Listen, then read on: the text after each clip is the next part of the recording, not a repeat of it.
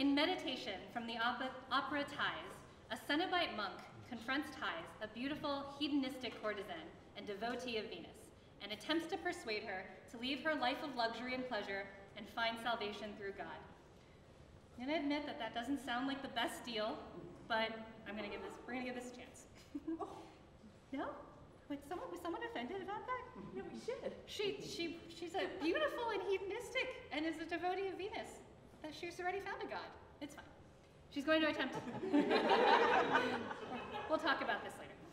It is during a time of reflection following the encounter with that meditation uh, that this meditation is played by an orchestra. Connor Bell, a graduate of the University of Texas School of Music, and Jenn Simonds, a Sky Candy teacher, have spent the last six years teaching together at the same middle school and are so pleased to perform their rendition of meditation.